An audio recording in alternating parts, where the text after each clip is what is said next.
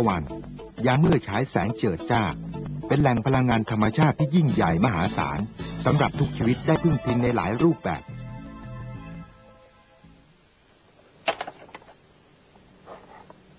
โรงอบยางพาราพลังแสงอาทิตย์ หน้าศูนย์ศึกษาการพัฒนาเขาหินซ้อน จังหวัดฉะเชิงเทรา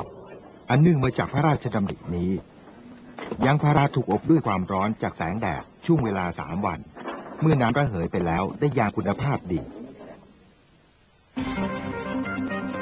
ที่ศูนย์สาธิตพลังงานทดแทนบางประกง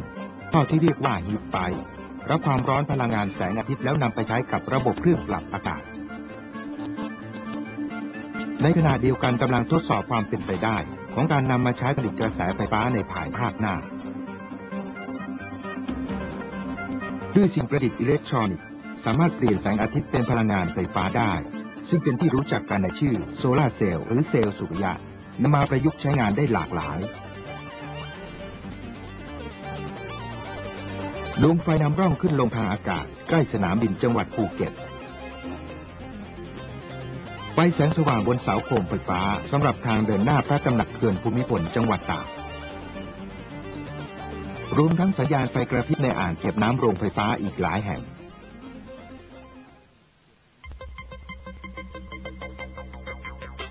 ยิ่งกว่านั้นยังนำเซลล์สุริยะมาใช้กับอุปกรณ์อำนวยความสะดวกสบายภายในบ้านพลังงานแสงอาทิตย์หลังนี้ ที่โครงการส่วนพระองค์ศูนย์จิตรลดา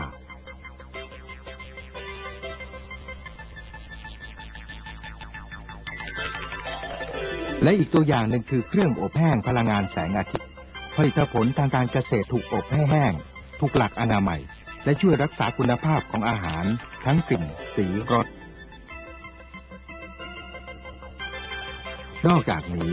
ระบบการใช้พลังงานแสงอาทิตย์ผ่านเซลล์สุริยะ ได้ถูกนำมาใช้ที่ศูนย์ศึกษาพัฒนาหลายแห่ง เพื่อสูบน้ำจากที่ต่ำส่งขึ้นไปเก็บสำรองไว้ยังสระบนเนินสูง เพื่อหล่อเลี้ยงพื้นที่การเกษตรและผืนป่า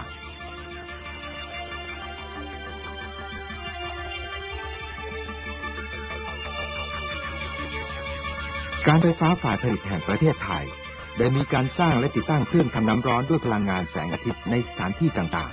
ๆ ไม่เพียงจะช่วยทดแทนการใช้กระแสไฟฟ้า แต่ยังเป็นข้อมูลสำคัญรวบรวมไว้ศึกษาค้นคว้าต่อไป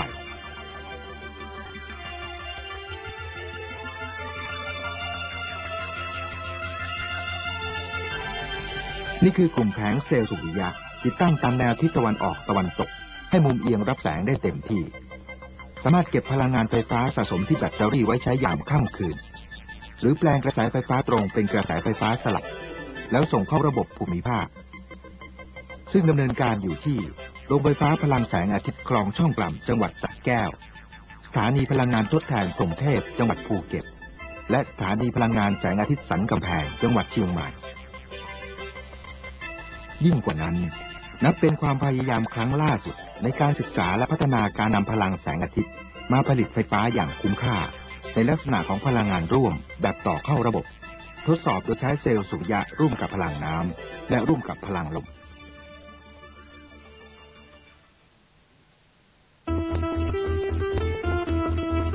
ตลอดการครองราชพระบาทสมเด็จพระเจ้าอยู่หัวได้ทรงเป็นองค์นำในการใช้และจัดหาแหล่งพลังงานทดแทนหลายรูปแบบ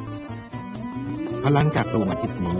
จะบังเกิดผลสูงสุดและอย่างถาวรหากทุกฝ่ายร่วมกันใช้พลังงานอย่างประหยัดและให้เกิดประโยชน์คุ้มค่า